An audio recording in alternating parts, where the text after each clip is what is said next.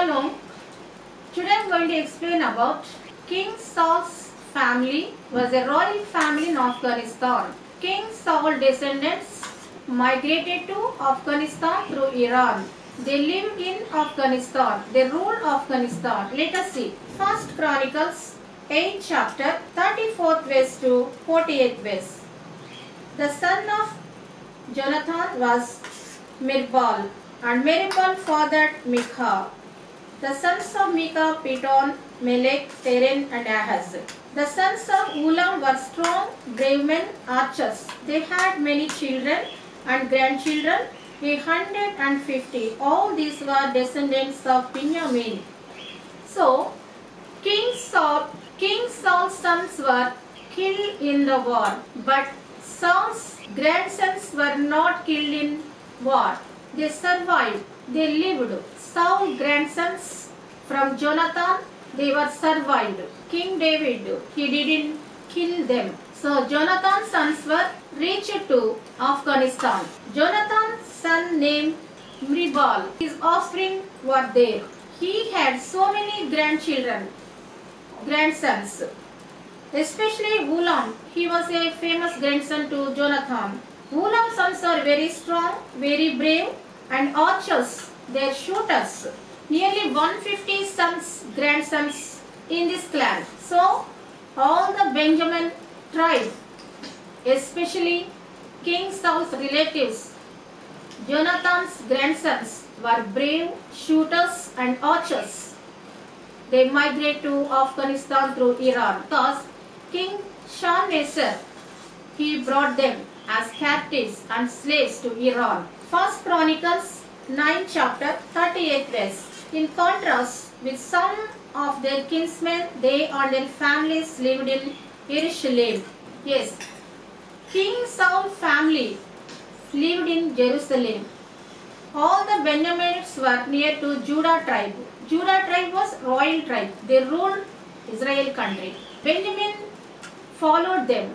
All the Benjamin people, the tribe stayed with Judah tribe in Jerusalem.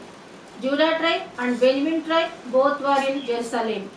But remaining 10 tribes were not in Jerusalem. They were out of Jerusalem and other bank of Jordan. 39th verse. Ner father Kish, Kish father Shaul, and Shaul father Jonathan. So all these royal families lived in Jerusalem. Uh, Most of the Benjamin people were lived in Jerusalem, very close to, very nearer to Judah tribe. First Kings 9 chapter 13th verse. He said, What kind of cities are these which you have given me, my brother? So they have been called the land of Kabul, good for nothing till this day. Hiram had sent the king four tons of gold. Land of Kabul, this word mentioned in Holy Bible. Kabul. Kabul was in Afghanistan. Kabul is in Afghanistan. Kabul means good for nothing, not useful. The Kabul word is there in Holy Bible. The business transactions from Jerusalem to Iran, Iran to Afghanistan is quite common and natural in those days. First Chronicles 12th chapter. Following are the men who joined David at Ziklag when he was still being kept away from Shaul the son of Kish. They were among the warriors who helped him fight his battles. They were archers who could use either hand to sling stones or shoot arrows from a bow. They were Shaul's kinsmen from Benjamin. Yes, many warriors among Benjamin, Benjamin tribe.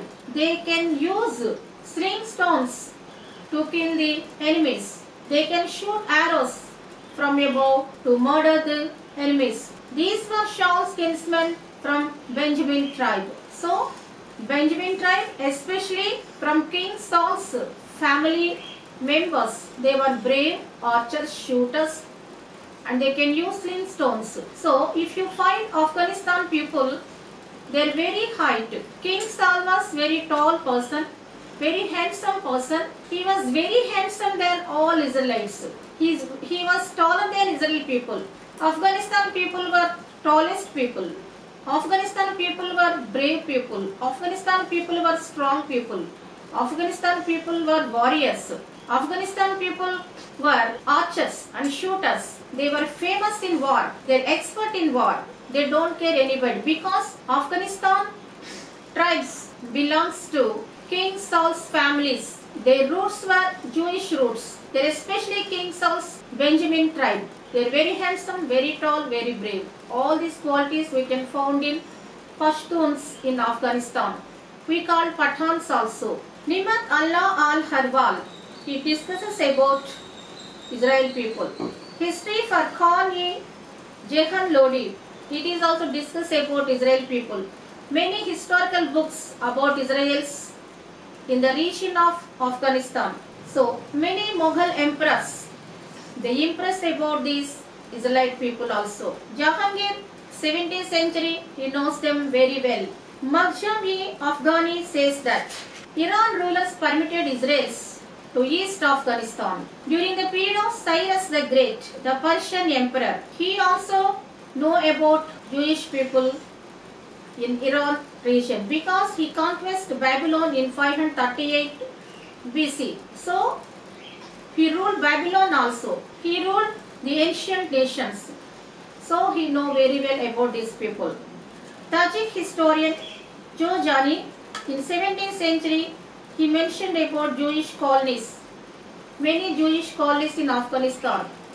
He mentioned Ghuri chief Amir Banji recruited Jews as advisors because Jewish people were intelligent, talented, honest and trustworthy people. In, in 1736, Persian king Nadir Afshar encouraged Jewish settlements in the region because Jewish people know the merchant routes. They are expert in the business. They came to Kerala for spices and they brought these spices to Israel. So Iran is the trade route to Jewish people. So Iran to Afghanistan, many business transactions are there. So this king encouraged Jewish people. Very important thing. In Jonathan's family, in King Saul's family, there was a grandson. His name was Afghana. Afghana. Afghana was the grandson name of Saul. So they named Afghanistan because of his name Afghana. In 1836, nearly 40,000 Jews were there, but they increased to 80,000 in Herat. Herat is famous place for Jewish settlements. Many historic evidences were there in Herat in Afghanistan. Mountstuart Elphinstone wrote a book in 1841. He said, Afghans from Jews. Yes, Afghans has Jewish roots. Afghans has Jewish ancestors. Greeks and Jews were ancestors of Pashtuns, means Pathans. So Pathans was a mixed race now because they married Iranians, they married other race people, they married Greeks, they married Indian Rajputs. So they married Greeks also. So this is a mixture combination of many races. So these Pathans or Pashtuns has Jewish and Greek roots. So Afghana was grandson. They named to Afghanistan. So King Saul offspring ruled Afghanistan. Look at the Afghanistan.